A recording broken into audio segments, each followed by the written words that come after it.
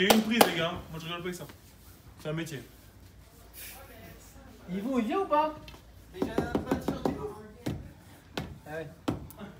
Mais Yvon, Allez, hein tu vas descendre jusqu'en bas aujourd'hui Yvon, t'es bien contouré, hein. T'as des beaux contours. On Ouais. attaque Pousse. Ah mais non, what the fuck Une prise. Qui fait du... On entend quand même Non. Non Ah non, c'est un peu trop bruyant. On va dire. hein. C'est qui C'est Lionel. C'est vestiaire. Putain, Lionel, il est pas... C'est pas un... C'est pas un homme de ménage, Lionel, putain. T'as fini la revenir pas de moi, enculé Travaille, hein. Il y a d'autres moyens de faire rien. Il a pas dit ça. Il a pas dit ça. Sinon... Voilà, on peut. Ah, c'était magique, je suis contente d'avoir allumé doucement la cam. euh. Allez, t'es prêt? Ah, moi, je- ça fait longtemps que c'est allumé, David. hein. Get ready!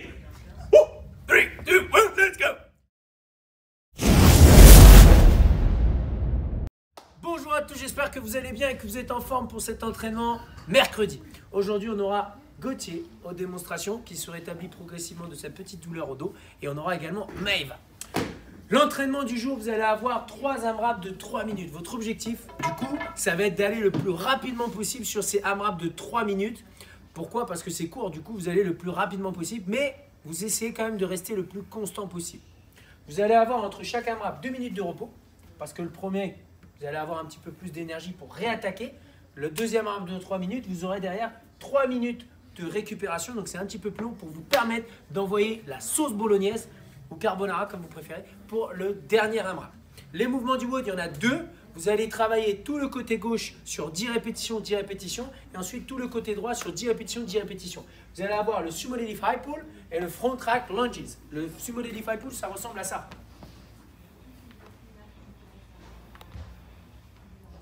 Donc rappelez-vous que par rapport à un deadlift classique, vous allez avoir les pieds beaucoup plus écartés, mais votre dos restera aussi droit.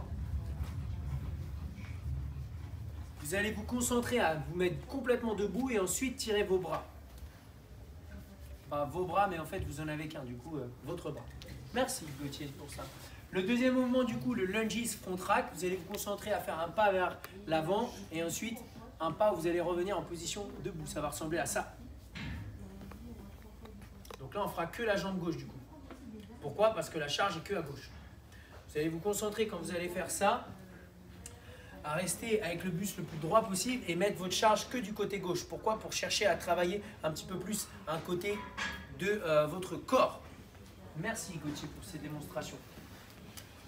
En warm-up, warm-up, en warm-up, en échauffement, du coup, vous aurez trois tours à faire 6, 9, 12, d'accord? Vous allez avoir 6 good morning. Vous allez prendre un bâton pour le faire. Vous allez placer vos pieds comme la largeur du sumo high pull pour vous préparer un petit peu déjà sur l'angle de travail. Vous allez vous pencher vers l'avant en gardant le dos droit et en déverrouillant vos genoux. Ça va donner ça. Excellent. Derrière, vous allez garder votre petit bâton et vous allez partir pour 9 répétitions de sumo deadlift high pull, toujours en gardant le dos droit, les épaules par-dessus le bâton. Vous allez vous concentrer à vous mettre debout et ensuite tirer là vos deux bras. Rappelez-vous que vos coudes doivent arriver au-dessus des épaules. C'est bien ta. Et derrière, vous terminerez avec la lunge que vous avez vu dans le WOD, mais cette fois-ci, vous allez mettre votre charge au-dessus de la tête. Ça va donner ce mouvement-là.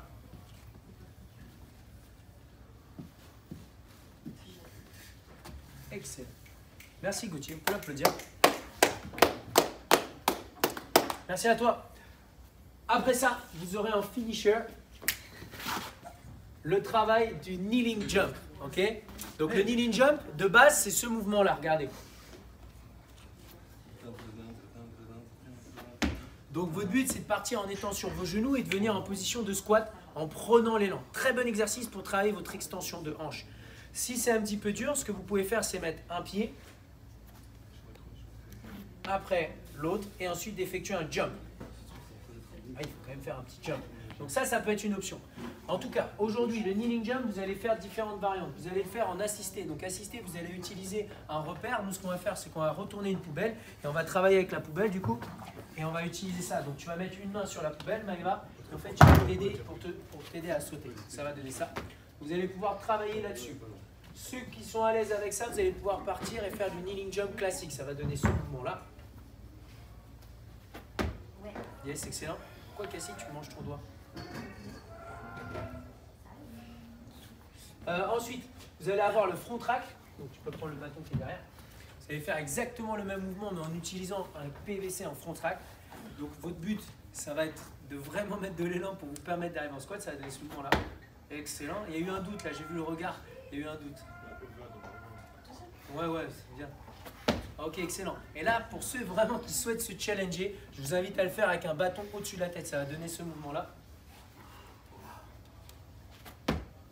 Oh, on le refait Ouais, si, si, on le refait. Excellent. Merci à toi, Maëva, pour ça. Donc là, sur ce travail-là, vous allez pouvoir travailler sur un nombre de séries très simple, en 5 x 5.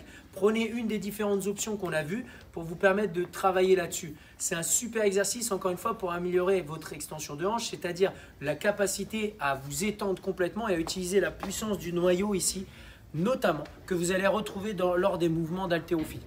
Si vous voulez faire cet entraînement, être coaché, ça reste notre cœur de métier. Venez à midi ou à 13h ou à 19h30 pour être coaché sur le numéro Zoom 21 15 9 75 001, le mot de passe CF Louvre. Maintenant, si vous avez euh, l'intention de vous reposer et de travailler un jour de off comme moi par exemple, vous pouvez pratiquer le yoga à 18h30 avec Eugénie. Merci à tous. Ciao ciao ciao ciao ciao. Salut